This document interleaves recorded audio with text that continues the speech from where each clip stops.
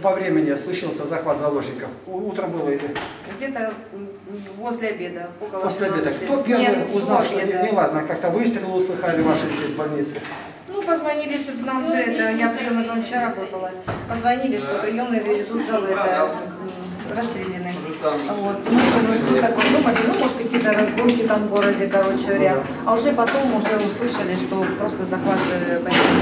Потом они как по этажам рассыпались, сначала собирались здесь.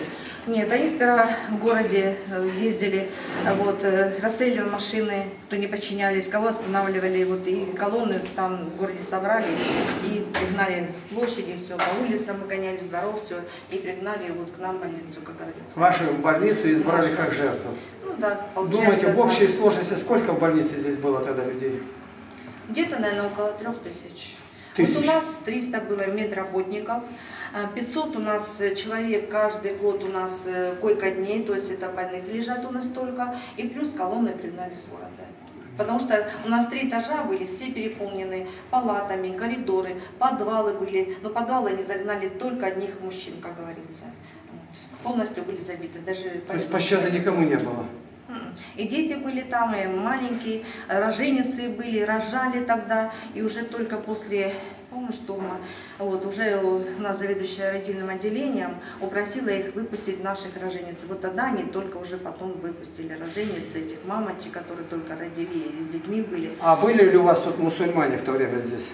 Или они как с ними Вы поступали? знаете, были, но перед тем, как вот начинались, вот вы заметили, потом был разговор, что некоторые как будто знали, и некоторые лежали, и вдруг перед обедом, и они исчезли, то есть были предупреждены.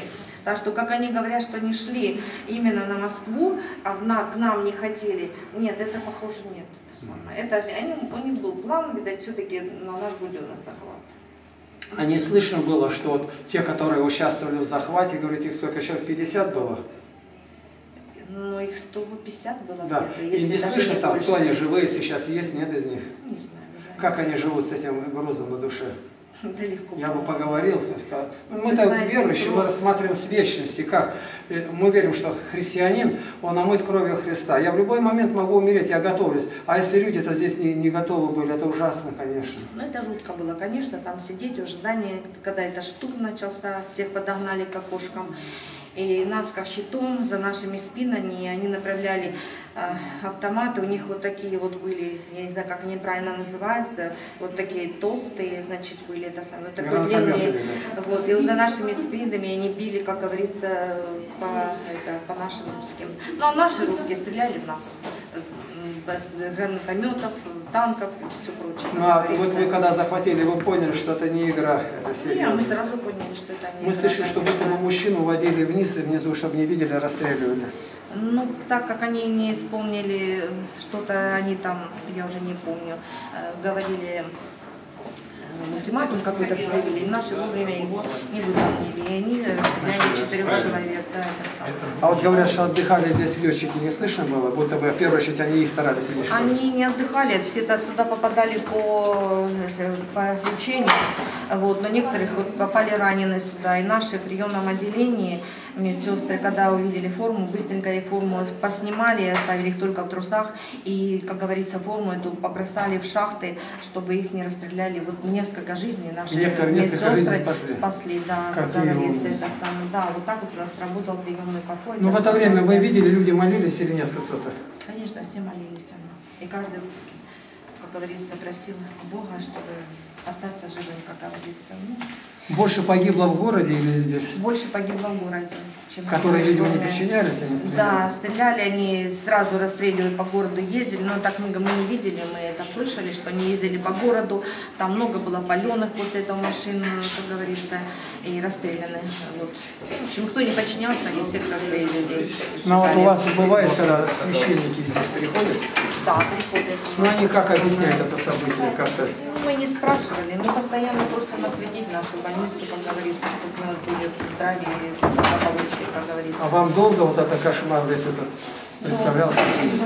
Вот до сих пор даже спокойно, вот уже сколько лет прошло, и до сих пор все равно это спокойно глаза не передать. Ну скоро 20 лет будет. Это никогда не забыть, вот говорится, со временем это все забывается. Нет, это никогда не забудется. Это самое. Да поможет вам Господь, да благословит вас. Спасибо. Да благословит вас Господь. Столько мы перестрадали. Мы, говорю, вчера в Беслане были, я комментировать я не мог. У меня просто горло схватило. Детей, а тогда после нас э, это Кизляр, потом Беслан, это ж вообще, э, вот тогда в Кизляре на роддом пошли, там на Беслан детей, у них ничего человеческого нету, я не знаю, ничего, это самое.